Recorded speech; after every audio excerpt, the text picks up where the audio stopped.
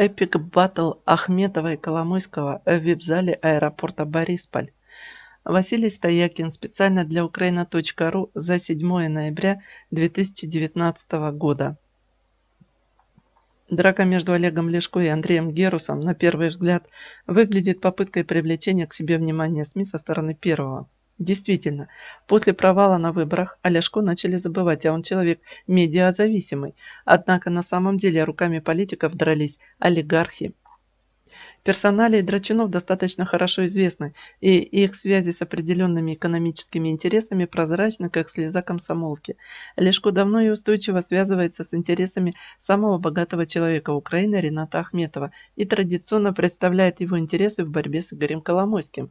До последнего времени, правда, считалось, что он снят с довольствия, но, как показал инцидент в аэропорту, не все так однозначно. Лешко конфликтных отношений с днепропетровским олигархом не скрывает – называл его вонючей пархатой мордой. Антисемитизма на Украине нет. Вы же понимаете, у нас Зеленского президента вам избрали. Но объясняет конфликт личными причинами. Дескать, в 2014 году Коломойский предложил Лешко провести по списку своих людей. Зная манеры Олега Валерьевича, поверить в такую принципиальность трудно, но можно, если люди Ахметова успели занести раньше и поставили условием борьбу с Коломойским. Почему бы и нет? Герус, в свою очередь, является одним из лоббистов Коломойского на, на уровне нынешнего руководства страны. А вообще он представитель президента в Кабмине и глава энергетического комитета в Раде. При прошлом режиме Герус был одним из наиболее последовательных критиков схемы Роттердам Плюс, но сейчас время новых схем. 18 сентября Рада внесла изменения в законодательство о ядерной энергетике, в которых с подачи Геруса украинским потребителям было разрешено закупать импортную электроэнергию по двусторонним договорам. С 1 октября компания, связываемая с Коломойским, начала закупки электроэнергии из России впервые с 2015 года. За первую половину октября импорт электроэнергии из России вырос почти в два раза.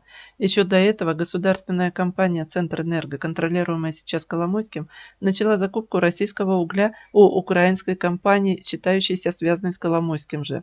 Цена угля 2500 гривен за тонну, по Роттердам плюс 1740 гривен за тонну. Электроэнергию компания продает по заниженному тарифу 1,3 гривен киловатт-час при себестоимости 1,9 ферросплавным и азотно-туковым заводам.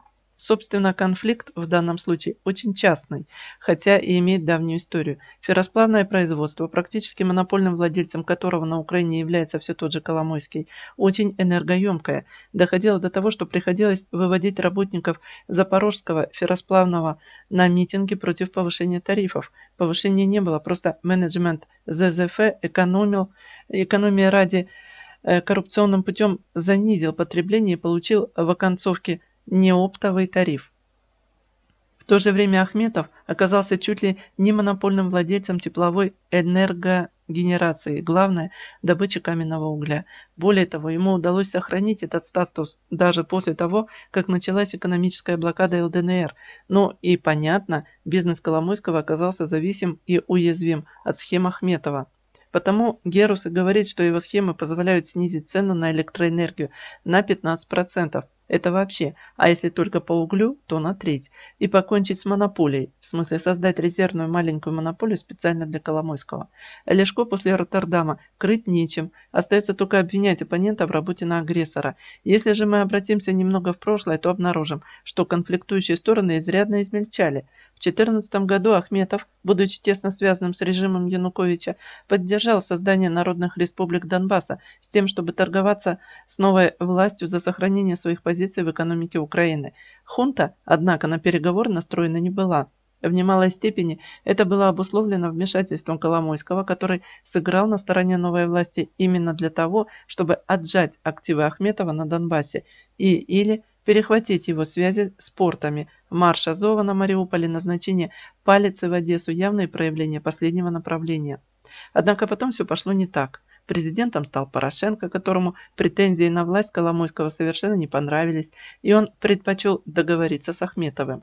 Впрочем, остается только порадоваться тому, что сейчас бизнесмены выясняют между собой отношения путем зуботычин между двумя политическими клоунами, а не при помощи танков и артиллерии. По скриптум. Слуги народа – слабаки. Адам Мартынюк, Андрей Шевченко и Юрий Бойко успокаивали Лешко не в пример более эффективно. Василий Стоякин. Эпик батл Ахметова и Коломойского в вип-зале аэропорта Борисполь.